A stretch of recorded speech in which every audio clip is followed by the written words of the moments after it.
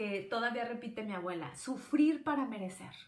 Sufrir para merecer. Era una frase que a mí siempre, hasta la fecha, me hace ruido y ya la he dialogado con mi, con mi abuela. Es una frase que le corresponde a ella y la respeto, pero yo siento que a mí puede ya no corresponderme. ¿Por qué? Porque no crecí en la etapa, en la, generación de ella, porque te, he tenido otro vínculo con mi historia, pero para ella es importante, por su propia historia. Entonces, escribe tú rápido la que, la que te surja desde la infancia, ¿ok? Entonces, fíjate, el valor que nosotros le damos al dinero tiene que ver con todo este bagaje que nosotros tuvimos para vincularnos con el dinero. De hecho, algunas veces hablar sobre el dinero está mal visto. ¿Por qué? Porque ya tiene que ver con alguna cuestión moral.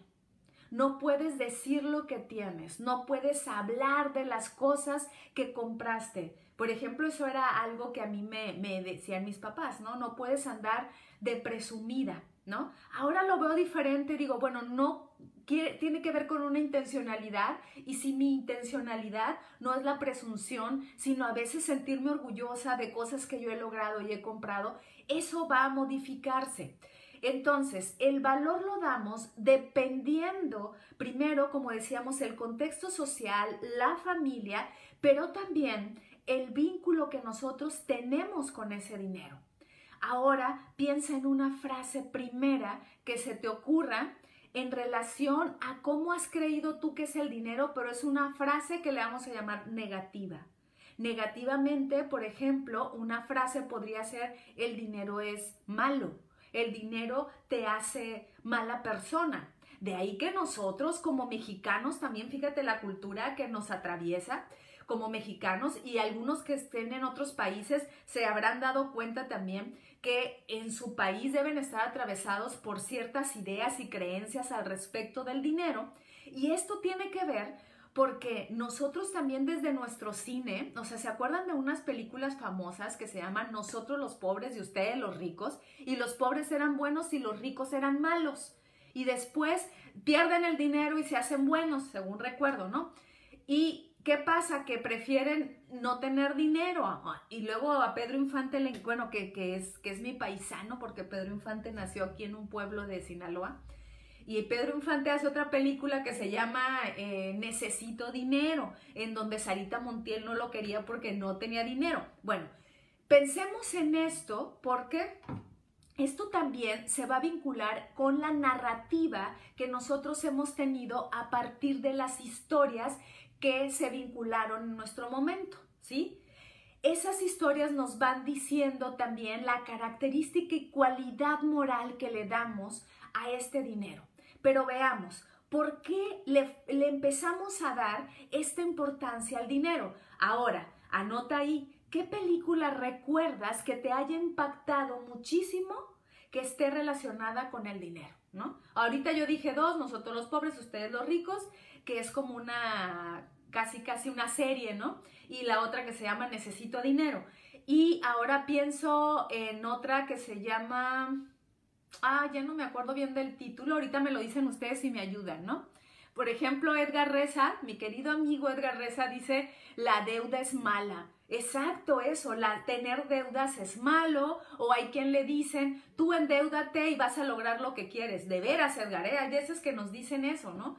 Entonces, eh, los ricos también lloran, dice Villacorta. Es cierto, esa es una telenovelaza que pues a mí no me tocó verla en esa versión, creo que la, vi en otra versión, ya no me acuerdo con, con qué actores, pero sí recuerdo que esa era una historia que creo que estaba, que era con Verónica Castro, pero sí, los ricos también lloran, imagínense, parecería que la riqueza no te da toda la alegría. Ahorita vamos a hablar de la, de la relación del dinero con las emociones. Pero entonces, regresemos, porque ya sabes que esto también se vincula con ciertos arquetipos que nos son legados y que están vinculados con la historia de la humanidad. Para eso es importante reconocer y conocer cómo empezamos nosotros a generar esta idea del dinero. Cuando aún no existía el dinero, yo creo que ya lo sabes, existía el trueque. De alguna manera yo quiero lo que tú tienes y tú quieres lo que yo tengo, entonces hacíamos unos intercambios, ¿no? Generábamos intercambios. Ah, mira, dice Alina, me detengo tantito. Dice Alina, porque me encanta esta, esta película que menciona, Los Olvidados, Los Olvidados de Luis Buñuel. Véanla, es una, es una historia, bueno, escalofriante, terrible, realista y maravillosa. Entonces véanla, porque habla mucho sobre la idea de la pobreza, sobre todo, y de que también los pobres lloran y de que también los pobres tienen características malidicentes, ¿no? Dice Norm, Dice, una mueblería muy famosa en Jalisco tenía el lema de el que nada debe, nada tiene. Fíjense en eso. Todas esas frases, por eso es importante que las escribas. Yo no crecí en Jalisco, Norma, pero para quienes crecieron en Jalisco a lo mejor les hace referencia el que nada debe, nada tiene. Y aunque tú creas que no te impacta, son, son cuestiones que vas convirtiendo en creencias. Y luego pasa esto al contrario de lo que decía Edgar Reza por acá, que decía la deuda es mala, acá es el que nada debe, nada tiene. Imagínense eso, ¿no? Ok, pero regreso, regreso a lo que les estaba compartiendo. Esta idea de cómo nosotros generábamos el trueque. El trueque, por supuesto, era, bueno, si yo hago quesos y tú tienes vacas, pues vamos a, tú me das un pedazo de carne, yo te doy este un queso, o al revés, tú cultivaste lechugas, este, y tu frijol, entonces hacemos el cambio. Sin embargo, por supuesto, la suspicacia del ser humano empezó a darse cuenta, o empezamos a darnos cuenta, que eso a veces no era funcional. ¿Por qué no era funcional? Porque a lo mejor a mí me costó mucho eh, generar esa gran y hermosa lechuga y a ti tu queso no te costó mucho. Entonces ya no les gustaba tanto el trueque porque había como un desequilibrio y aparte si yo quería tener queso y el que me surtía de queso no tenía queso, tenía que buscarlo y el trueque empezó a ser disfuncional. Entonces lo que se necesitó fue dar un intercambio, pero a través de algo que tuviera valor. De ahí es que empezamos a utilizar la sal y el maíz, por ejemplo, en nuestro caso, la sal se utilizaba y de ahí es que todavía utilizamos la palabra salario, ¿no? El salario viene de ahí porque la moneda de cambio era la sal. Sin embargo, se empezaron a dar cuenta que tanto el maíz como la sal, pues se podían echar a perder.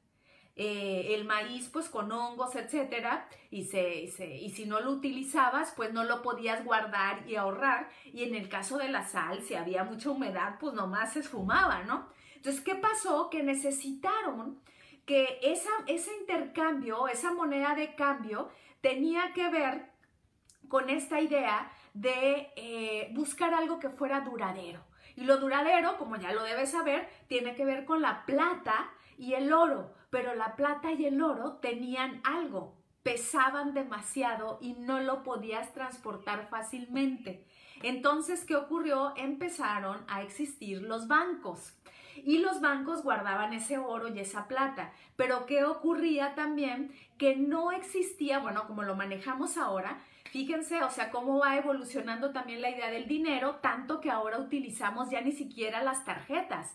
Todo es por, por en, en línea, utilizamos un número, pero el plástico lo vamos utilizando ya cada vez más y parecería que las monedas y los billetes tienden a desaparecer o las bitcoins que se usan ahora, o sea, todo este tipo de del manejo del dinero, ¿por qué? Porque estamos viviendo otras épocas. Pero fíjate cómo nos va impactando. Ya no tenemos el dinero debajo del colchón, por ejemplo.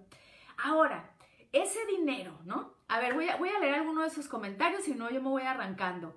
Dice Mari, la película Nosotros los pobres, ustedes los ricos, sí, que era muchos, nos impactó. Eh, dice Chris Blancas, dice película de El Gran Gatsby y eh, ah, la de Leonardo DiCaprio. Fíjense que yo me quedé con la de Robert Redford, este, pero pues hablan de lo mismo. Eh, la, es un remake. Entonces acá tenemos esa idea también de cómo se, te vinculas con el dinero desde no tener, pero vivir en la apariencia o no. Entonces, eso también tiene que ver en cómo te relacionaste con el dinero desde la familia.